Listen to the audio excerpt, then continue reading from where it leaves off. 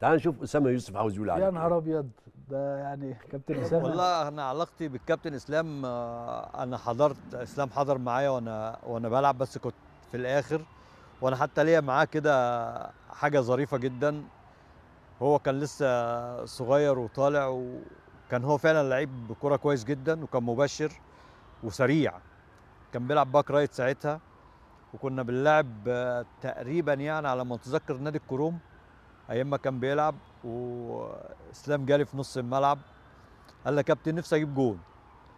قلت له يا اسلام على الله بس يفتكر الكلام ده. إسلام أول ما امسك الكورة والف اجري على الجون. وفعلا هو عمل كده أول فضل مستنيني لغاية ما لفيت ولعبت له الكورة داس عليها دوبك بس لمسها كده جاب هدف. كان يوم سعيد قوي بالنسبة له. كان يوم حلو يعني. أنا كمان كنت سعيد قوي إن هو جاب جول لأن أنا كنت بحبه فعلا. هو كان لعيب كويس جدا ولعيب مبشر يعني. أنا كان هو وليه زميل خميس جعفر برضو كان معاه. كنت بحبهم الاثنين لأن هم كان عندهم يعني عندهم كاريزما عندهم عزيمة كده وإصرار إن هم عايزين يبقوا لعيبه كوره ويبقوا كويسين. فكنت مبسوط منه قوي إن هو جه قال لي الكلمتين دولت وأنا عايز أبقى أجيب وعايز أبقى هداف وكده. وفعلا هو فعلا كمان كان بيعرف يخش جوه ال 18 وكان بيلعب back right. كان بيعرف يخش جوه ال 18 ويجيب ويجيب أهداف وكان ماشي مع الأولمبي كويس جدا لغاية ما مشي من الأولمبي وربنا كرمه وراح المنتخب وبعدين راح الإسماعيلي بعد كده بقى كنا بنتابع بعض بقى. لا هو بعد ما بطلنا كده وإسلام كان بيلعب يعني كنت في الجهاز اللي كان موجود في النادي. إسلام شخصية طيبة يعني شخصية سلسة. بيسمع الكلام وبينفذ وبيفهم بسرعة. فكان دي بالنسبة لنا إحنا أي حاجة بتتقال فكانت بتتعمل بسرعة. ما كانش فيه يعني ما كانش فيه غلط ما كانش فيه بيرد على حد. ما كان حاضر يا كابتن. طيب كان بيراعي إن إن هو لعيب وكبار كبار يعني. دي كانت عنده حاجة مهمة جدا.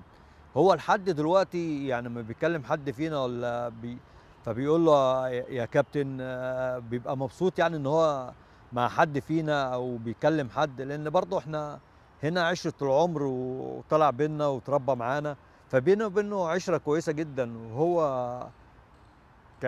كلعيب و... وأخلاق أخلاق عالية جدا وهو من بيت من بيت راقي يعني من بيت ناس طيبة جدا يعني مم. هتقول إيه للكابتن لا كابتن أسامة ده أسامة. طبعا متذكر يعني كابتن أسامة ده وجهة نظري إن هو واحد كان من أحسن صناع اللعب في مصر وما خدش حظه.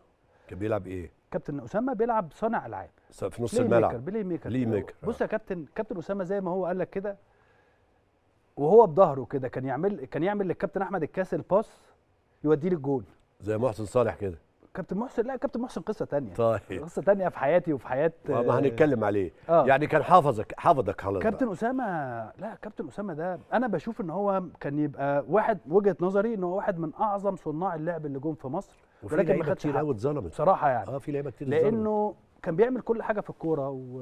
وطبعا يعني أنا حتى لو هو بيتكلم إن أنا يعني بسمع الكلام وكده أنا كنت, كنت بتعلم مطيع ده أنت في جدا آه. بس أنا كنت بتعلم ده منهم الحقيقة من هذا الجيل الرائع المحترم اللي ما تقدرش تتكلم معاهم حتى هذه اللحظة لغاية لما بشوف حد فيهم فعلا والله أروح أسلم عليه وأبوس دماغه وأقعد جنبه وببقى مبسوط جدا جدا. أنا سعيد إن الكابتن أسامة يوسف بيتكلم عليا بهذا الشكل حتى الآن.